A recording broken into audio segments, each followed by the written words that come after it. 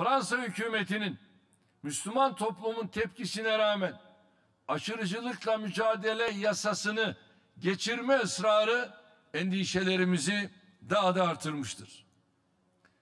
Müslümanları ötekileştiren, sivil toplum kuruluşlarını baskı altına alan bu tasarı mevcut haliyle yürürlüğe girerse aşırıcılıkla mücadeleden ziyade aşırıcılığı teşvik edecektir. Yasa tasarısıyla Müslüman kadınların tercih ettikleri kılık kıyafetle sosyal hayatta var olma hakkı sınırlandırılacaktır.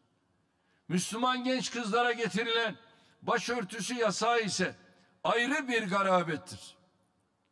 Yasa tasarısıyla gençlerimiz bir dönem ülkemizde olduğu gibi eğitimleriyle itikatları arasında tercih yapmaya zorlanacaklardır.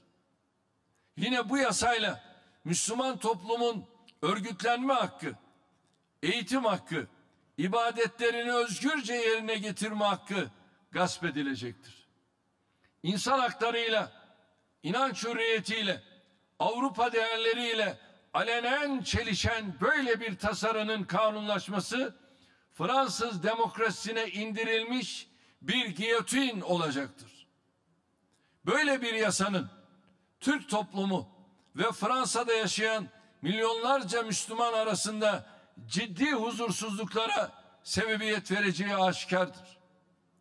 Müslümanların rızası gözetilmeden ben yaptım oldu inadıyla atılacak adımların faydadan çok zarar getireceğine inanıyoruz.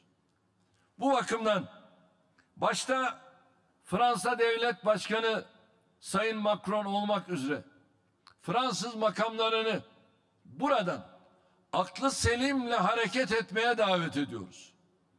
Fransa hükümetinin 12 Nisan tarihinde Senato'da kabul edilen bu yasa tasarısından bir an önce dönmesini bekliyoruz.